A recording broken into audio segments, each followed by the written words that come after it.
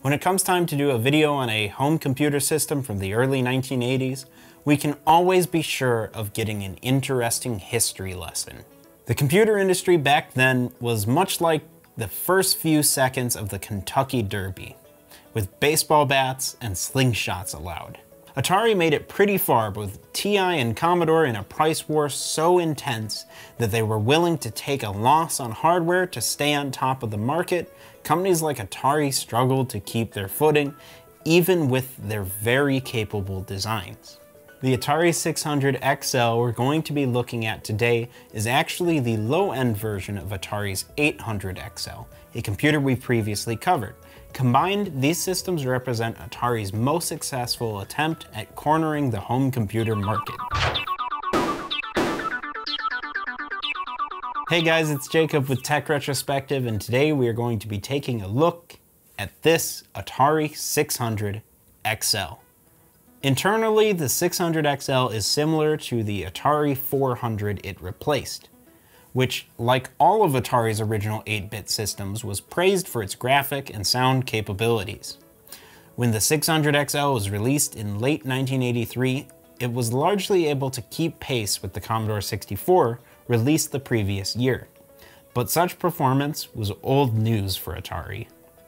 I'm going to be discussing this system assuming you already understand the basic architecture of the Atari 8-bit line. If not, check out our videos on the original 800 and the 800 XL to be up to speed. When they were released in 1979, the 400 and 800 were the leaders in terms of graphic and sound performance at the time because Atari employed technology from its dedicated game consoles in its home computer systems.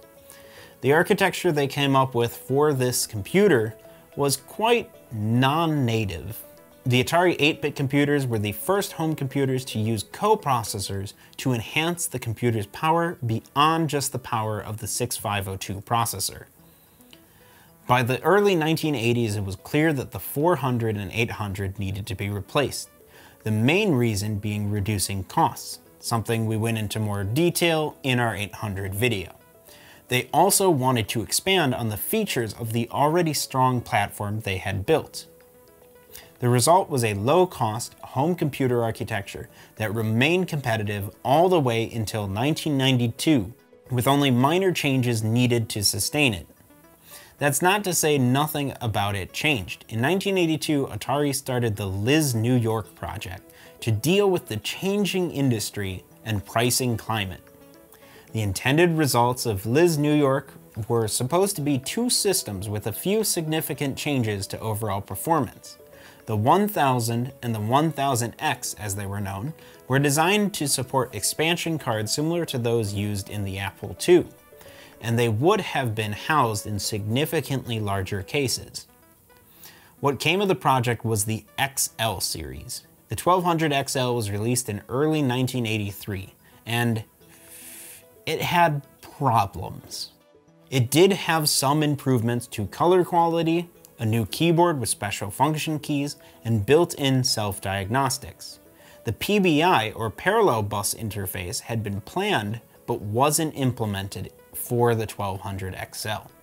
Critics found it to be far too expensive, particularly compared to offerings from TI and Commodore. Also, the SIO connector, which is a predecessor to USB, had the 12 volt pin disconnected, causing compatibility problems with older game controllers and hardware. Another significant change in 83 was the relocation of Atari's computer manufacturing from California to Hong Kong. While the 1000 and 1000X designs were dropped before making it to production, the concepts of the Liz New York project would appear in the systems that followed. The 600XL and 800XL were announced at Summer CES in 1983. They were smaller and lighter than the 1200XL. The 600XL was the smallest, mostly because it only had 16 kilobytes of RAM, while the larger 800 had 64K, plus an S-video output.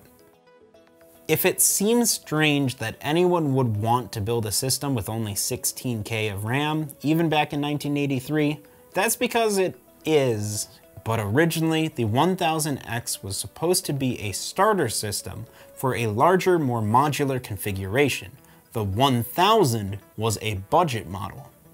These two systems were what finally became of Liz New York.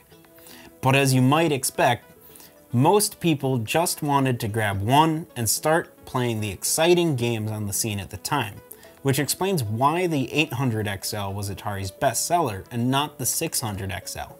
If you don't have a simple, cost-effective upgrade path, then the system with the most useful configuration out of the box is going to be the better choice.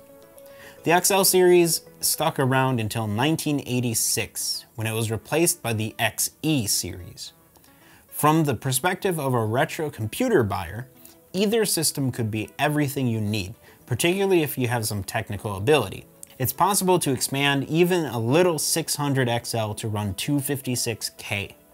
That's more than games ever required, so this little one could be a deal, particularly if you don't need the extra video output. We picked up our 600XL for $140 in the box with manuals, catalogs, power supply, and some accessories for attaching video devices. It was listed as opened but unused, and that appears to be accurate. The box was mangled up, but the machine itself is like new. Looking closely at the 600XL, it has a very solid feel to it, and the touch of the keyboard seems a little light. It is obviously a massive step up from the membrane keyboard of the 400. The XL series also features function keys, which are intended to make the statement to new frightened computer users that Atari's got your back, so to speak. It is, of course, a family system, so it has a cartridge slot for games. The right side of the system houses the two 9-pin controller ports. The back is where you'll find the 13-pin SIO port, the parallel port, RCA video output, the switch for selecting between video output channel, the 40 watt power input, and the power switch. 40 watt power supply. We should see if this thing gets hot enough to fry an egg on the keyboard. Now for the ratings. Rarity gets a 2 out of 5. This system sold pretty well, but I would say that the 800XL is far more common. But they're basically the same system, so Price gets a 5 out of 5. You can get some killer deals on this system if you don't buy a nice complete in-box example like we did for an unboxing video. Aesthetics get a 3 out of 5. The chrome look is nice, but the rest of the system is a bit dull.